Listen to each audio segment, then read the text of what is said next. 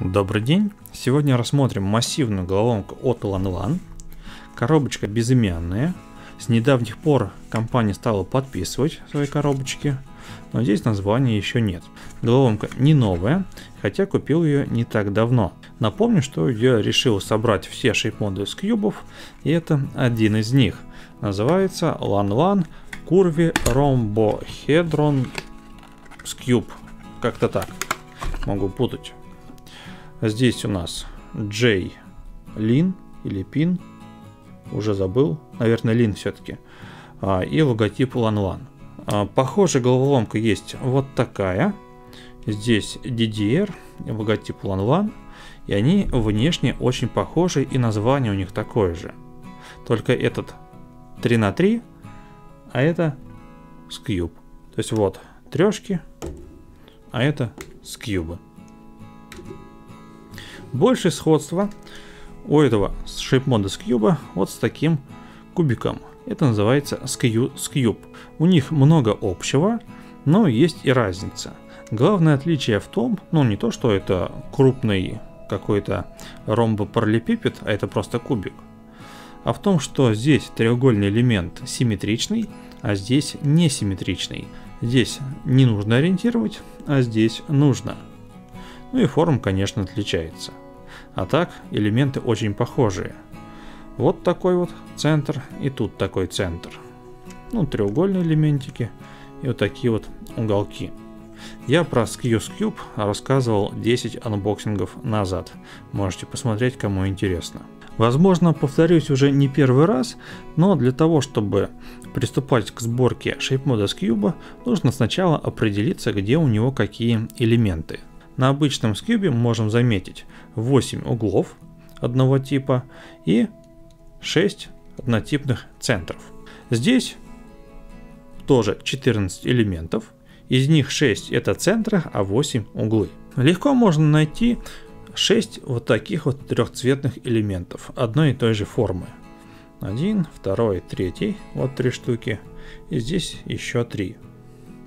И это наши центры, они трехцветные. Вот эти треугольнички, их тоже 6, можно было подумать, что они центры, но на самом деле они углы. Также нам подскажет такая особенность. Вот у нас один элемент и вокруг него 4 других. Это центр, а это 4 уголка. А, при перемешивании головка меняет форму, но не по всем осям. Вот по этой оси, если вращать, то форма не меняется. Но если вращать по другой оси, то форма уже меняется. Как и на классических скьюбах, здесь есть фиксаторы а, в виде подшипников. Поэтому головоломка ну, такой треск издает при вращении. Это нормальное явление, но зато есть фиксация, в отличие от Skew Cube. Хотя название последнего, конечно, поприятней, чем этот Curvy Rhombohedron Cube. Давайте вот так посильнее перемешаем и попробуем собрать. Сначала на скьюбе, давайте его перемешаем на обычном, нужно собрать а, один центр и вокруг него 4 угла. Сделать это нужно интуитивно, любым способом. Главное уголки правильно ориентировать. Здесь же у нас требует ориентации только два угла из 8. Вот как раз они оба. Поэтому я начну сборку с одного из них и собирать буду вокруг. Давайте возьмем вот этот черно-зелено-красный. Ну, на Skews Cube начинал с бело-зеленого красного. Здесь расцветка немножко другая, но вместо белого здесь черный. Ну, давайте с него начнем, хотя это не так уж и важно. Можно сюда поставить вот черно-зеленый тройной трехцветный уголок. Вот он. Подводим. А, ну, не угадали сторону. Отводим в сторонку. Разворачиваем. Подводим еще. Все хорошо. Ну, видим, что здесь уже два угла встали. Ну, давайте их уберем, чтобы было хоть чуть-чуть поинтересней. Вот как-то так. Сюда нужно черный треугольник, сюда красный, сюда зеленый. И из любого положения мы просто подвигаем этот уголок, и он становится как надо. Даже если мы его развернем, он все равно встанет как надо, так как он симметричный и его ориентация не важна. Сюда подводим красный. Есть красный. И сюда подводим зеленый. Так, так. Поэтому лучше начинать с трехцветного, его ориентация важна. Если бы мы его оставили бы напоследок, то пришлось бы восстанавливать еще один уголок, так как при развороте он бы сдвигался с места. Ну а если ориентация не важна, то в одно движение уголок ставится. И вот у нас первый слой собран. Напомню, что на любом скьюбе верхние углы сразу стоят на своих местах. Остается их только правильно ориентировать. Ну вот, посмотрим. Вот у нас а, уголок стоит на своем месте, вот синий-красный, синий-красный, и ориентирован правильно. Этот синий-оранжевый, синий-оранжевый на своем месте, но развернут не так. И здесь может быть восьмерка, либо вертолет. Здесь же, вот у нас первый слой, и вот этот у нас верхний. Вот четыре угла вокруг какого-то центра. А здесь у нас вот эти три треугольника, они уже правильно ориентированы. И нам остается только посмотреть, как ориентирован трехцветный. Если он ориентирован неправильно, просто его развернуть. В нашем случае красный с красным совпадает, значит ориентирован он правильно. И можно этап э, ориентации углов пропустить. Но может быть и не так. Давайте смоделируем. К примеру, вот такой случай.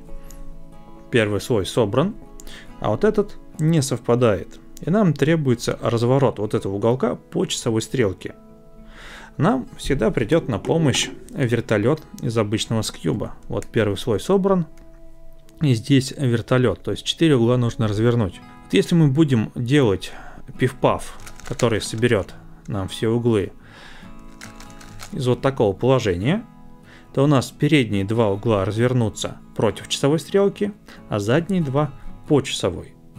Поэтому для того, чтобы наш уголок развернулся так, как нужно, а именно по часовой, его просто нужно расположить сзади и сделать пиф-паф. Вот два угла спереди, два угла сзади.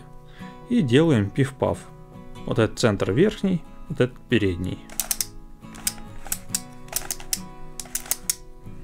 Смотрим, что получилось. У нас первый слой собран. И вот здесь вот все совпадает. Если бы было нужно развернуть его против часовой стрелки, мы просто оставили бы его спереди и сделали такой же пиф-паф. Это интересная особенность конкретно вот этой головоломки. На SkewsCube такого нет. Дальше нам нужно переставлять центры. Делать это будем юпермом. На обычном скьюбе это выглядело бы вот так. Но здесь сейчас желтый стоит на месте. Если бы его не было, мы бы расположили его сзади. Белый центр снизу, ну, собранную грань. И отсюда желтый перешел бы сюда. Делаем пиф-паф, перехват Y2 и еще пиф-паф. То же самое повторим и здесь. Но здесь вместо э, какого желтого центра должен быть трехцветный. Легко посчитать какой. Красно-желто-зеленый центр должен быть здесь. Напротив... Нет, не этого. Не так взял. Вот у нас первый слой. И напротив должен быть вот здесь. Желто-синий-оранжевый. Его и поищем. Это не тот. Вот он. Вот нам нужный центр. Его нужно расположить сзади. Вот наши четыре уголка верхних. Отсюда он перейдет сюда. Это верхний центр. Это передний. Он, к сожалению, разрушится. Но сделаем пиф-паф.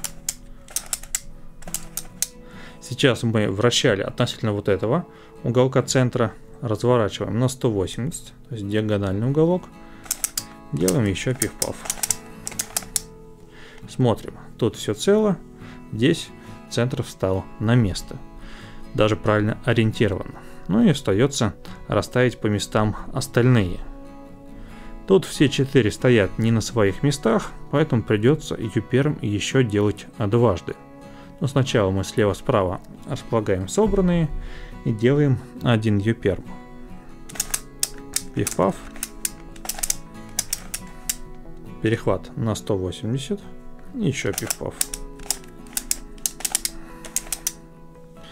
Смотрим, что получилось. Что-то встало. Так, это у нас боковые. Вот один центр встал на свое место, правильно ориентировался. И три центра еще нужно переставить. Верхний центр должен идти вперед. Здесь желто-зелено-оранжевый, здесь место не его. Поэтому разворачиваем. И вот сюда теперь пойдет. Делаем то же самое. Пиф-паф. Перехват. И еще пиф-паф. Так, ну и в итоге у нас собираются по местам все элементы, остается два центра развернуть. Покажу комбинацию для разворота двух центров, переднего и заднего. А делаем из такого положения два пиф-пафа, перехват y2 и еще два пиф-пафа. У нас разворачиваются два вот этих центра. Если нужно развернуть передний и верхний, то мы просто верхний сдвигаем назад и делаем тот же алгоритм. Если нам нужно развернуть передний, верхний, левый, правый, то можем сделать 6 пивков. Ну и комбинировать а, эти алгоритмы для получения нужного результата. В нашем случае нужно развернуть два центра рядом. Один из них отправляем назад. Вот передний и вот задний. Делаем два пивпафа, перехват и еще два пивпафа. Один пивпаф. Второй пивпаф. Уже все красиво. Перехват. Еще. Один пивпаф. Второй пивпаф. Ну и отменяем move. Вот у нас собран курви ромбохидрант Cube. Надеюсь, я правильно его произнес. А, интересная головоломка. Что меня больше всего порадовало, что это не одно и то же со Skew с кьюбом. Есть интересные моменты. Причем, используя вот эти одноцветные углы, можно и ситуацию с разворотом четырех центров решить за два пиф-пафа. Для этого нужно просто на верхнюю грань разместить 4 одноцветных центра. И сделав просто два пиф-пафа, мы развернем 4 центра. Вот у нас 4 уголка сверху, делаю 2 пиф-пафа. Вокруг давайте вот этого центра. Один. Второй. Нужно отменить setup move. Вспомнить бы, какой я делал. Ну, вроде вот так. Да. Все хорошо. Кажется, что получилось месиво, но на деле у нас все углы стоят на местах и развернуты 4 центра. Центры тоже все на местах. Развернуты какие? Передний, верхний, правый и левый. А на других шейп-модах для подобного же достижения нужно было делать 6 пивпафов. Почему так произошло?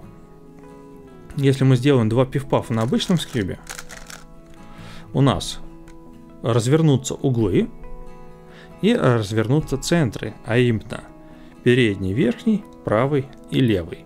Когда мы перехватываем и делаем еще два пифпафа, у нас углы возвращаются, правый левый центры разворачиваются в исходное положение и остаются развернутым передний и задний. Но если мы вторые два пифпафа делать не будем, то у нас развернутся 4 центра, а углы потеряет свою ориентацию. Но при условии, что ориентация верхних углов не важна, мы просто за два пивпафа развернем 4 центра. И это интересно. Правда, я еще не научился быстро просчитывать, как это вернуть обратно, поэтому оставим так.